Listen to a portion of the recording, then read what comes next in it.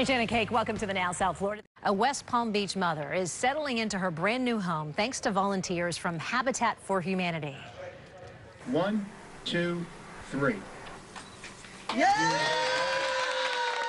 What a moment. We were there to capture it. Julia Mack got the keys to her brand new four bedroom home today. The mother of four works full time at Children's Medical Services while she's still studying for her associate's degree as well in Health Services Administration.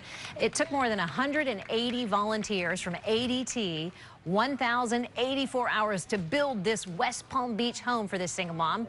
The chief executive officer of Habitat for Humanity of Palm Beach County was happy to see Mack move into her brand new home. They're no longer moving yearly from apartment to apartment because the rent has gone up, uh, moving their children from one school to a new school to a new school. So the stability it brings to them is, is, is quite an advantage for our families. We have enough space to, to, you know, to do whatever they need to do. The, we have a backyard, they have a front yard.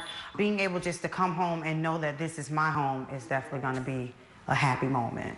What an organization this is. To date, Habitat for Humanity of Palm Beach County has built 183 single family homes. Hmm.